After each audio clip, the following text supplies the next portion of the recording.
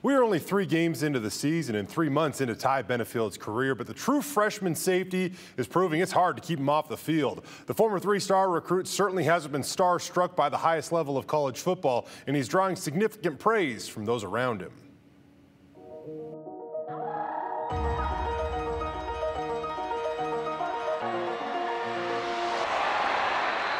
He's a freak.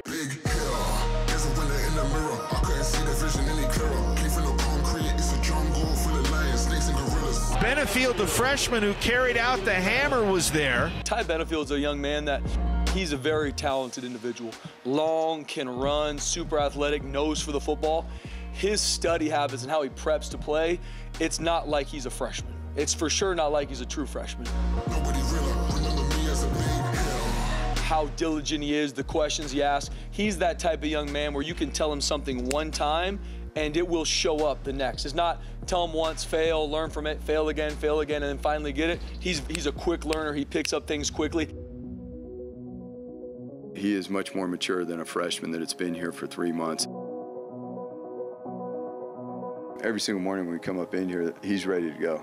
He's locked in. That's why he's been able to have some early success. He's extremely self-driven and, and he's, he's talented. His movements, his ability to run, his ability to accelerate, he gets and understands concepts and techniques. That dude's going to be very, very good for Bronco Nation for a very long time. I mean, that's someone who's been here for three months, makes insane plays. We haven't seen a lot of people like him at this university in a very long time. Since I've been here, there hasn't been a guy talented as him coming in and worked as hard as he have with like, he just wants to learn every single day and wants to be the best he can watch his development from week one, wait till the end of the season where this guy's at. He cares deeply to grow, wants to be elite, wants to be a great player, and wants to help our team win. So little by little, he's grown in his confidence, not only for, his, uh, for us as coaches, but for his teammates around him. So we can, we can put him out there, and the secondary and the back seven with him trust him. And so he's going to continue to get more reps.